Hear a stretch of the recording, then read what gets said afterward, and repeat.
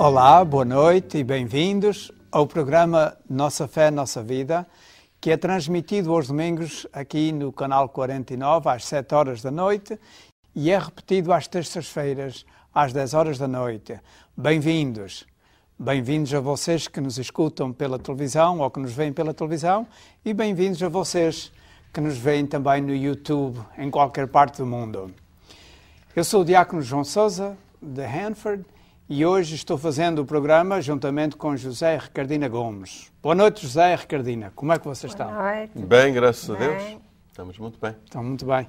Estão bem prontos para começar esta Semana Santa? Yes. Então, para começar, é Estamos verdade. no domingo de Ramos.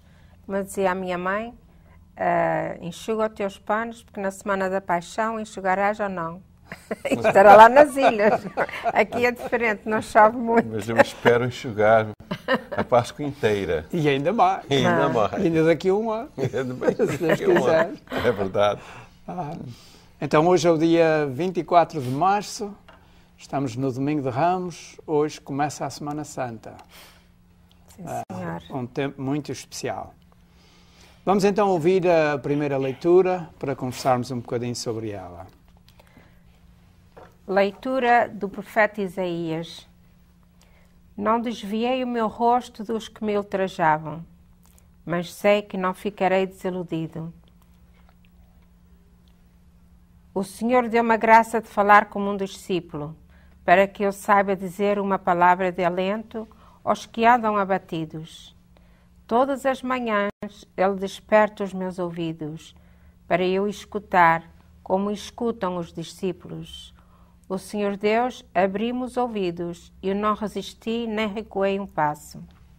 Apresentei as costas àqueles que me batiam e a face aos que me arrancavam a barba.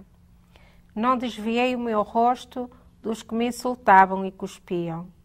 Mas o Senhor Deus veio em meu auxílio e por isso não fiquei envergonhado. Tornei o meu rosto duro como uma pedra e sei que não ficarei desiludido. Palavra do Senhor. Graças, a Deus. Então, José Gomes, isto é do profeta Isaías, mais de 700 anos antes de Cristo. O que é que ele está a dizer?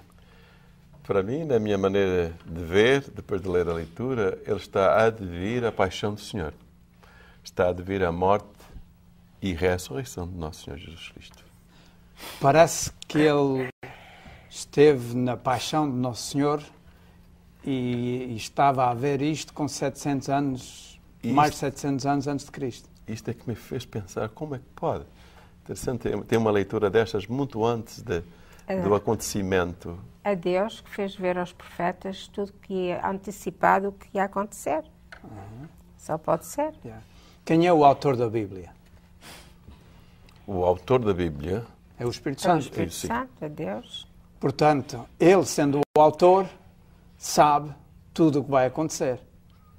É, a mesma coisa aconteceu nos Salmos, não? Yeah. E até, às vezes, a pessoa que está a escrever está a escrever sob a inspiração do Espírito Santo e está escrevendo, muitas vezes, para aquele tempo, para aquele lugar e nem se apercebe mens- da mensagem longínqua que ele está escrevendo.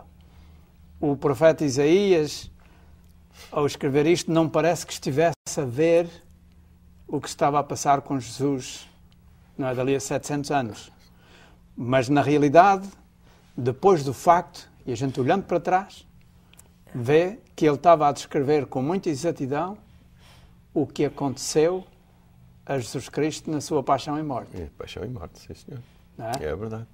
Foi uma das coisas que a gente vê logo nesta leitura e começa a dizer, a me- quer dizer, mas eles me cuspiram, eles me fizeram isto tudo que fizeram a Nosso Senhor Jesus Cristo quando ele estava no caminho para, para Gólgota, para o Mas- Calvário. Será que também fizeram com Isaías essas coisas? Ou ele estava a prever só para o futuro? Ele estava a descrever o servo sofredor, o servo do Senhor, Ah, e ah, alguém para o futuro. Mas não me parece que ele tivesse a ver com clareza todos os aspectos daquilo que estava a escrever. Elas depois de se realizarem e a gente olha para trás, vê que o profeta descreveu claramente a paixão do Senhor. Claramente, Yeah, é é verdade. verdade. Sim, senhor. Vocês têm aí um salmo muito bonito também, não é? É, temos um salmo apropriado mesmo para É a de- paixão do de Senhor. hoje? É o da missa de hoje, É naturalmente. Que vocês vão cantar aí para o povo, olhar para eles e cantar mesmo para eles verem Vocês tudo. não, ele. Yeah. ele é que canta. Meu Deus, meu Deus, porque me abandonaste? Meu Deus, meu Deus, porque me abandonaste? Todos os que me veem escarnecem de mim, e estendem os lábios e maneiam a cabeça. Confiam no Senhor, Ele que os livre, Ele que os salve, se é seu amigo. Meu Deus, meu Deus, porque me abandonaste? Matilha de cães me rodearam, se como um bando de malfeitores trespassaram as minhas mãos e os meus pés. Posso contar todos os meus ossos. Meu Deus, meu Deus, porque me abandonastes? Repartiram entre si as minhas vestes e deitaram sorte sobre a minha túnica. Mas vós, Senhor, não vos afasteis de mim. Sois a minha força, apressai-vos a socorrer-me. Meu Deus, meu Deus, porque me abandonaste? Hei de falar do vosso nome aos meus irmãos. Hei de louvar-vos no meio da assembleia. Vós que temeis, Senhor, louvai-o, glorificai-o, vós todos filhos de Jacó. Meu Deus, meu Deus, porque me abandonaste?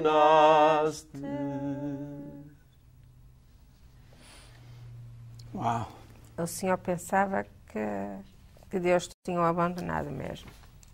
Este é o Salmo 22. E Jesus na cruz recitou ah, as primeiras frases, as primeiras linhas deste salmo. Então quer dizer que Jesus, no, no máximo da sua paixão, na parte mais difícil, sentia-se abandonado, teve aquele, aquela sensação de que estava abandonado por Deus? Será que era isso? Eu penso que sim. É, era humano como nós. Sim, tinha a, parte- a sua parte humana, é Eu verdade, penso, mas também temos que ver que, da maneira que todos lhe viraram as costas, todos, não é? Porque eles queriam, quando o- a gente sabemos pela leitura do Evangelho, que vamos ler proximamente, é- é- é- todos eles pensavam que iam receber um rei para, uma- para ganharem as batalhas. No entanto, ele veio pobrezinho, um burrinho, com toda a humildade, a dizer que sempre devemos ser humildes. Então, isso todos lhe abandonaram. E ele olhou ao pai. Então, não é verdade essa parte? Yeah, yeah. O, um, o que agora é, é ex-Papa, Papa Emérito, Bento XVI, ah, diz que também pode ser que Jesus estava a recitar O, o Salmo. o Salmo Também já pensei nisso. e não tanto ele a sentir-se completamente abandonado. Sim. E do ponto de vista humano, como Jesus era humano como nós, humanamente ele talvez teve essa sensação: como é possível que o meu pai me deixe sofrer tanto Então, como estou tanto, sofrendo? yeah. E eu pedi-lhe ontem à noite, lá no Getsemane, que ele me protegesse e que não me deixasse tomar este cálice. Mas como ele, ele tão depressa acabou de dizer, Pai, se é possível, afasta de mim este cálice, ele acrescentou, mas faça-se a sua vontade, a vossa vontade e não a minha. Yeah. É? Jesus Cristo disse isso. E por isso eu penso que ele, quando estava no alto do Calvário, que tinha, lá na, na cruz, que tinha aquela sensação de que isto era a vontade do Pai. E talvez que ele estivesse mais a recitar do que a cramar. Sim, e até Não. pode ser que estas palavras que foram escritas no Salmo era para ele quando estivesse nesta situação, Era. Estavam a descrever. a descrever. É, a Meu descrever. Deus, meu E Deus. ele O estava a lembrar o que o salmista tinha escrito. Yeah. Yeah. E, e- e, eh, o salmo é todo praticamente à volta daquela situação que se passava naquele momento. É. Yeah. Que todos se retiraram, jogaram sortes para, para levar a sua túnica, é uma, uma mantilha de ladrões à sua volta. Era Todos, quase tudo. todo a, ela descrever aquilo que se passava ah, na sua volta, ah, no seu rodeio. Yeah, sem dúvida nenhuma. E, e foi, foi, eu penso que o maior sofrimento que jamais existiu à face da Terra. Penso que nunca ninguém sofreu tanto como Jesus Cristo sofreu na sua paixão. Por duas razões. Uma, porque os sofrimentos que lhe ah, infligiram são daqueles que pisam.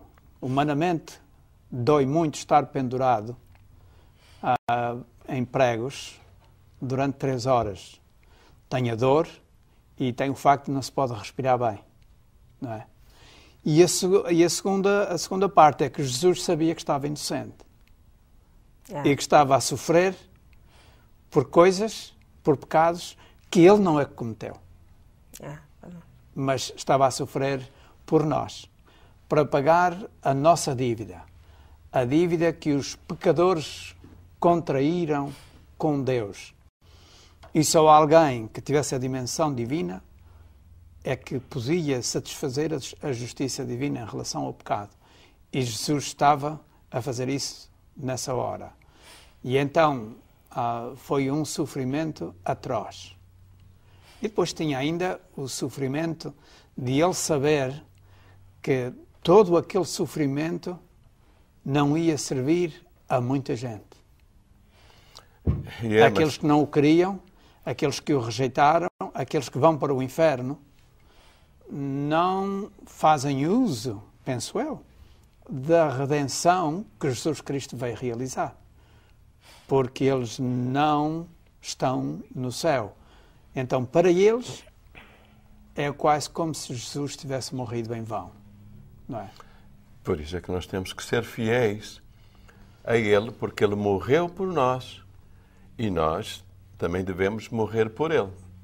E morrendo por Ele, na minha maneira de ver, é morrer para o pecado. Não é verdade? Porque Ele morreu pelo pecado. Morreu por pecado dos homens. Ele morreu, e como sabemos, foi eh, pregaram Ele numa cruz, com pregos, uma série de coisas que fizeram com Ele. Ele, para nós, para a nossa redenção. E nós devemos, eh, quer dizer, temos a obrigação de sermos fiéis a Ele. Porque se Ele morreu por nós, é até dar a vida por eles. Olha os nossos santos.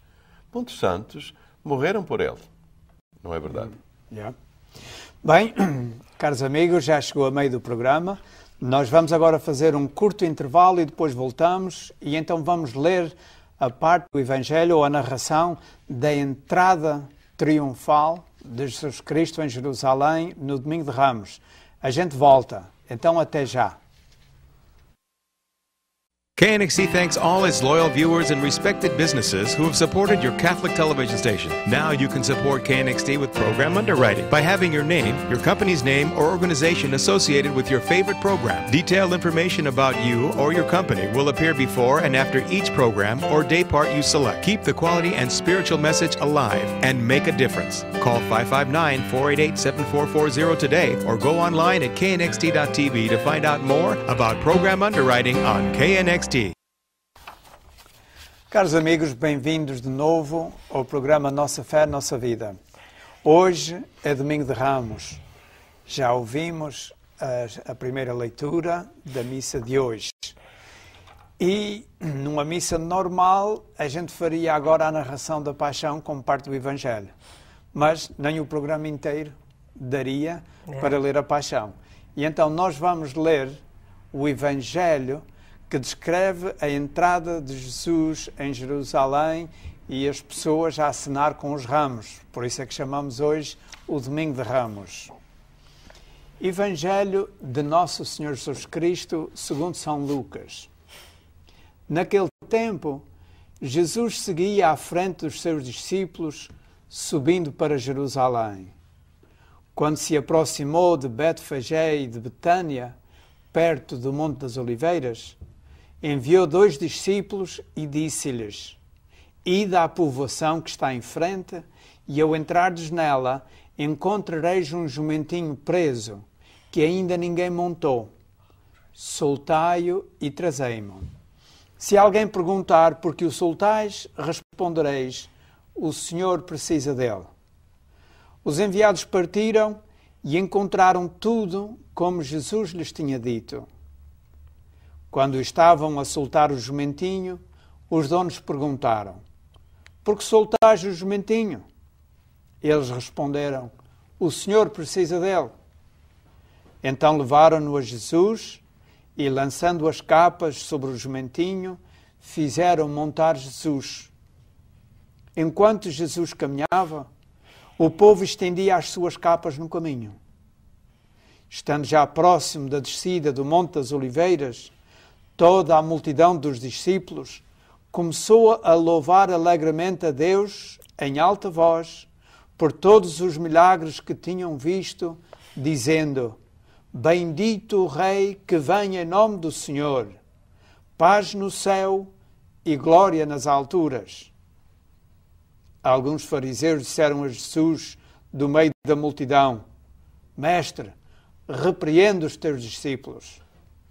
Mas Jesus respondeu: Eu vos digo, se eles se calarem, clamarão as pedras.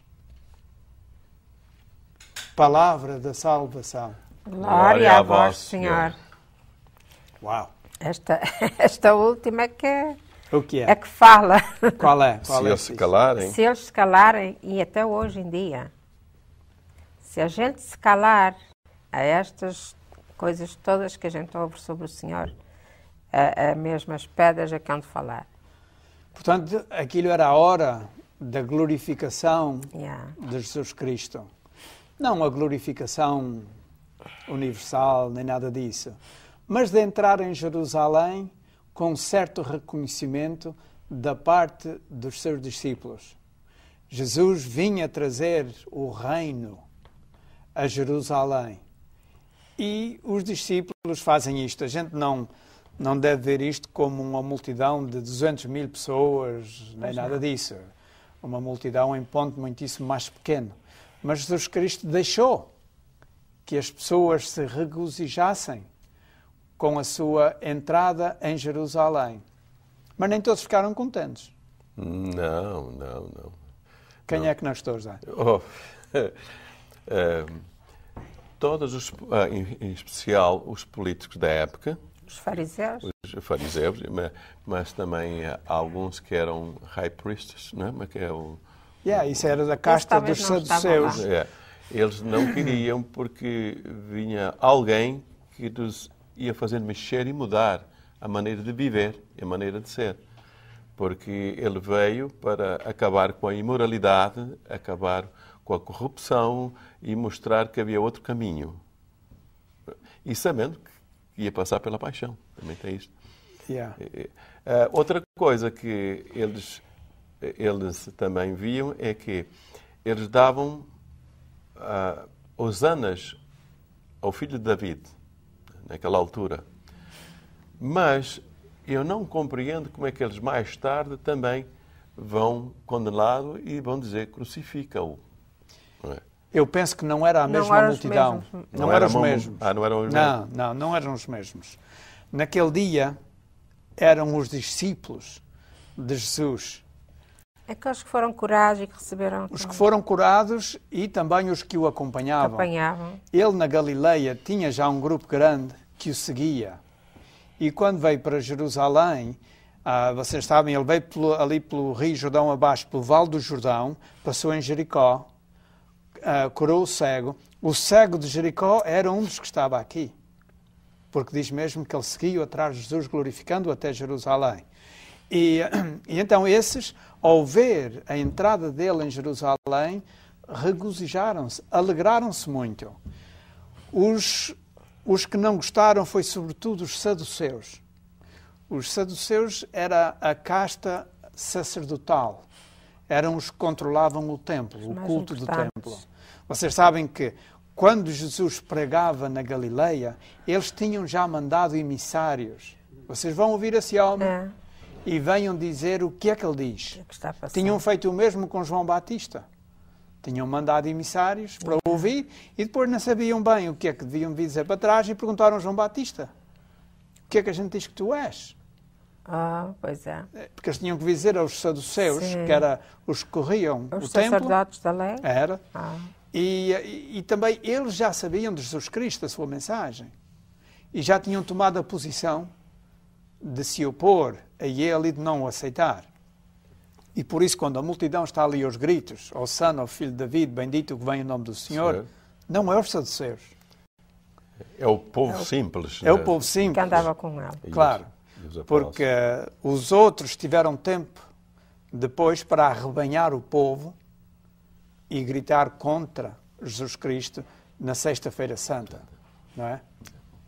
So, mas, mas é interessante, o nosso Deus vem para nos redimir e aceita este, esta manifestação de alegria de uma maneira simples. Vem montado num jumentinho é isso que eu ia dizer, a humildade. É a humildade. A humildade dele. Isto para os sacerdotes da lei, olha, um rei que vem salvar nunca vinha num jumentinho. Não, ele Tinha viria no cavalo mais bonito que encontrassem. Sim, sim. Embora a entrada a, a, cavalo era parte dos reis, os reis faziam isso. E, e Jesus também fez. Só que tem era um jumentinho, coisa simples. Simples. Novinho, uh, que ainda ninguém tinha montado. Não é? Eu penso que daqui podemos tirar a lição de que Deus conhece a nossa pequenez e aceita os nossos louvores, a nossa gratidão, a nossa alegria por tudo o que Deus faz em nós, embora sabendo que nós somos pequeninos. E Deus não precisa de nós, mas nós precisamos dele.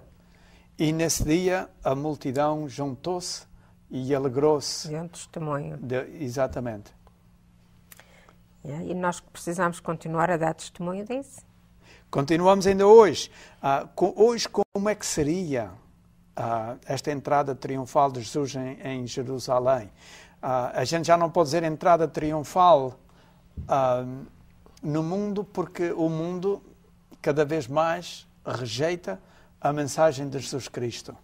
Yeah. Mas ainda podemos ver no sucessor de Jesus Cristo, o Papa, quando ele vai a algum lugar, as pessoas ainda atendem ele com muita devoção e eles não estão se importando com aqueles que não acreditam, eles estão ali, jovens e todos. Uhum. A gente ainda é bonito ver. O Papa, quando aparece, que ele é, ele é o sucessor de Jesus Cristo, as pessoas ainda aderiram assim, desta maneira. Uhum. Só não está totalmente perdido o mundo ainda. Sim, não está. Não está, não está graças a Deus. Nem nunca está. estará, porque nunca Jesus estará. Cristo prometeu que a sua igreja estaria até o fim dos tempos. Mas também um dia Jesus disse uma frase que me faz pensar muito. Será que o Filho do Homem, quando voltar, encontrará ainda encontrará fé, fé sobre a terra? É, isso, isso é que há. É quase como se ele tivesse a prever o que está a acontecer do, do século XIX para o século XX uhum. e agora uhum. para o século XXI. Sim. em que as pessoas estão cada vez mais a abandonar a mensagem de Jesus Cristo. Estão dando muitos ouvidos à, à, à imprensa, ao jornal, à televisão, à, às revistas. Tudo que aparece aí é que dão mais atenção. E até não é só isso. Eu penso que as pessoas dão valor àquilo que elas têm. Em vez de darem valor a quem, a quem dispôs de tudo, eles viram-se é para si. E se eu tenho abundância, se eu tenho saúde, se eu tenho dinheiro, se eu tenho uma casa boa, se eu tenho tudo o que preciso, não preciso mais. Eu não preciso de Deus. Não é? Às vezes, é às vezes dá a impressão de que o mundo pensa assim. Porque à medida que se foi desenvolvendo o mundo, foi-se desligando bastante de Jesus Cristo. E, e a gente às vezes não aprecia uh, bem o que Jesus Cristo fez por nós na cruz. E por isso, eu penso que durante esta Semana Santa, nós devíamos fazer como que um retiro. É. Estarmos recolhidos em atenção e prestando atenção ao que o Senhor Jesus fez por nós. O amor dele era tão grande, tão grande, que ele sujeitou-se a morrer numa cruz para nos redimir, para nos salvar. Naquele tempo, os escravos é que eram mortos na cruz. Um cidadão romano não podia ser crucificado. Era uma morte muito indigna. Muito indigna. A cruz era mais avergonhosa. Exatamente. E, e, ele, ele teve a morte do escravo, nem sequer a morte do cidadão romano. O cidadão romano era morto normalmente com a espada. Cortavam-lhe a cabeça, uma morte rápida. Não, é? não sofreu muito. Ah, agora, a morte na cruz, não só foi a morte na cruz, como foi também a, a paixão. E, e o sofrimento que ele exatamente. teve. Naquele... A, amarrado à coluna, foi vergastado.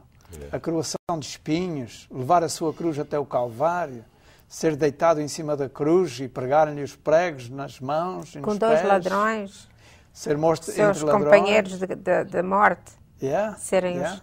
Foi contado entre os malfeitores. Entre os malfeitores. Disse o profeta Isaías também. Yeah.